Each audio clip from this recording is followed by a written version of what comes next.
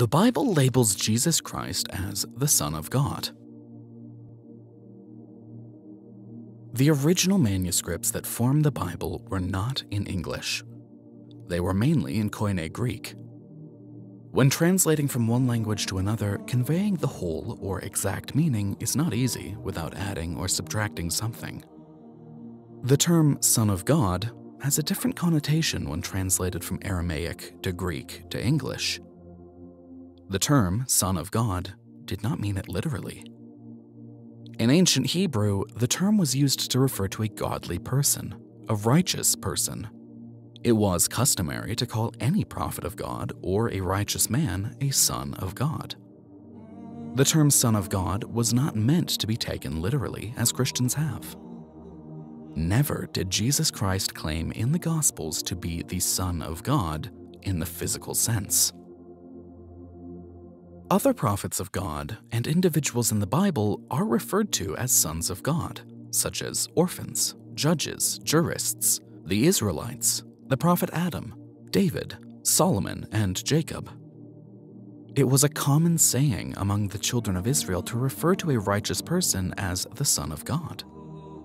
Prophet David, peace be upon him, is referred to as the Son of God in I will proclaim the Lord's decree. He said unto me, You are my son. Today I have become your father. Psalm 2, verse 7.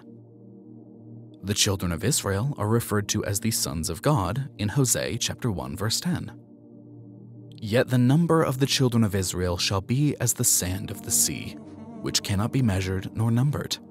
And it shall come to pass that in the place where it was said unto them, Ye are not my people, there it shall be said unto them, Ye are the sons of the living God. Prophet Adam, peace be upon him, was labeled as a son of God in Luke chapter 3 verse 38, which was the son of Enos, which was the son of Seth, which was the son of Adam, which was the son of God. Exodus chapter 4 verse 22 quotes God calling Israel his son. Then say unto Pharaoh, This is what the Lord says, Israel is my firstborn son. Exodus chapter 4 verse 22. Jesus Christ calls the peacemakers children of God. Blessed are the peacemakers, for they shall be called sons of God. Matthew chapter 5 verse 9. Why don't Christians apply the same concept to those individuals in the Bible who were referred to as sons of God?